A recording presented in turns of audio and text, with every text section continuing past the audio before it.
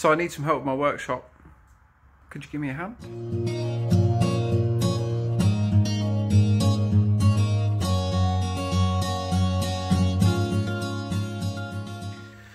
Okie then, for anybody that's been watching the channel for a while, you'll know how lucky, how blessed I am to have this huge, gigantic workshop here. But as you can tell, as with any other space that we seem to get, any of us, I might add, the more space we have, the more we seem to fill it up. I'll try to stop spinning around because I don't want to make any of you dizzy. So, in the new year, that tends to be our quietest period. You know, uh, well, definitely out in between Christmas and January because we tend to try and take some time off then and for the first couple of weeks of January, we don't normally have any huge projects. I know we've got something booked in, but um, but that's maybe not until the end of February. So I'm getting a little bit fed up with all of this mess. I am not a messy kind of guy, regardless of what my workshop looks like, and I hate it. Like I really can't stand it. What is it they say? Like a tidy, tidy workspace, tidy mind, all that sort of stuff. It really is for me. Um, every year, like once a year, I try and redo the workshop or tidy it all up. But we've had some new machinery come in this year, a couple new bits. And I want some advice from all of you because I always, like, I love interacting with all of you. I think you're all great. I think you're awesome. And so you guys might have a different take on it than what I do. And, um, sorry.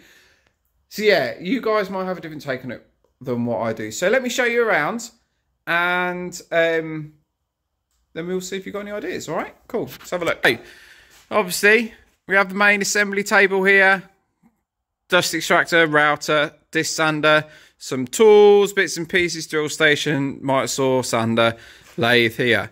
Uh, drill, uh, like grinder there. Again, more tools. We have a steel fabricating table here.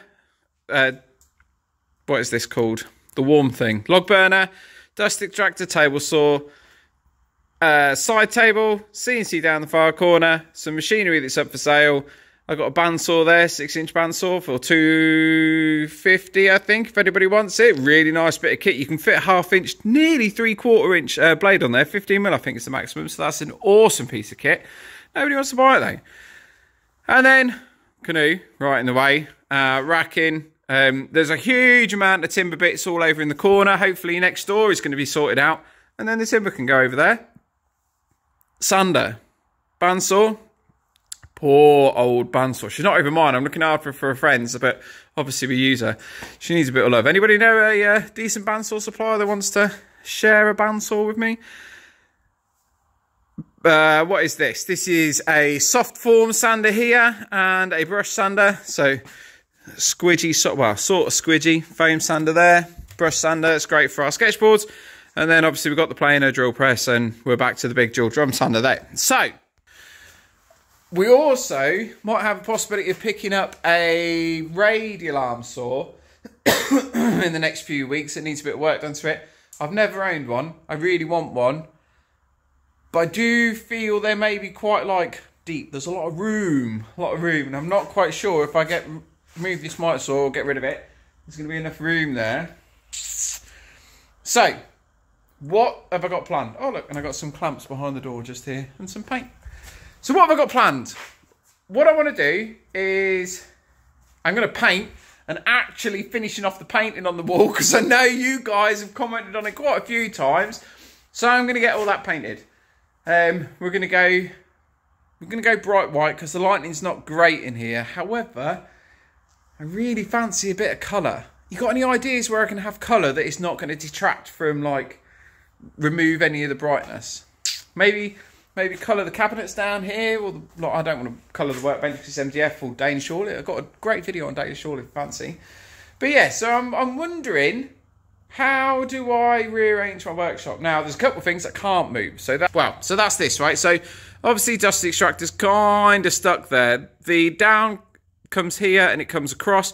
So we could maybe bump that over. Will the filter will be in the way of the plug hole, uh, plug holes. Man, I need to go to bed. Plug sockets, but we can maybe pull those plug sockets, move that one over this way, move this one, ex or extend over this way, extend over that way. So then that's not necessarily too much of an issue. That then does give me some space along here. Originally, I had thought about maybe building a unit and sinking the router and the disk sander into it. However, when I'm doing big pieces on the router, I do like to be able to pull it out. So I don't know. Maybe sink it into a thing and move the disc sander over to this side or something. I don't know. Um, the lathe, nice bit of kit, sits there just about perfectly. But when I do want to use the mic, it sort of gets in the way. I have to drag it out and I've got loads of weight on everything because obviously it's a lathe. It just ends up being a bit of a pig. I think what I'm getting at is to do a job, I have to move stuff. And then when you're working, it ruins your flow. Like, do you know what I mean? That really stresses me out. And obviously the other thing I can't move is the log burner because it goes through the roof. And I'm not moving the CNC because that's a big, big, big, big thing. So I'm thinking maybe the table saw is going to stay here because the CNC is not going to move. So that gives me plenty of outfeed and infeed there. Obviously that's not going to move. I was sort of tempted to put the lathe here, but I don't mind having a big steel fabricating table next to the log burner because it's never going to catch fire, is it? But the lathe, the wooden table for the lathe, maybe I could sit, I was thinking maybe I could sit the lathe into something, sit it into like a little built-in table and push it back and maybe have it come forward a little bit. But then the headstock's on this end. Where is it? There it is. Headstock's over here. So if I want to turn a bowl or something, then I want to be able to pull it out and be better if it was on the other end, really. I mean, I, no. It, it is an induction motor, so I could spin it either way, but... Oh, got a thumbprint there, look.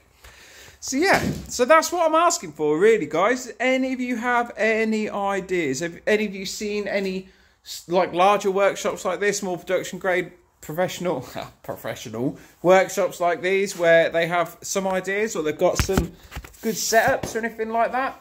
Um, I'd really be interested, because I'd like to think, wow, I'll just come in, paint the walls and sort a few bits out, but it's just got so much stuff. I can't really get rid of any of it because everything's so expensive nowadays. Normally, you just bin it and come back to it at a later date, wouldn't you? But that's not going to happen. I need all the tools. That everything gets used. I'm getting fed up with having to pull stuff out. Like the bandsaw's not on wheels, so when I pull that out, goes boop, boop, boop, and it's heavy. Same with the sander, same with all the other little bits and pieces. And I don't really necessarily want to put everything on casters because they're really expensive. So yeah. But the walls do need painting. I do want a bit of colour in here. Man, does it need tidying up. So, help me out.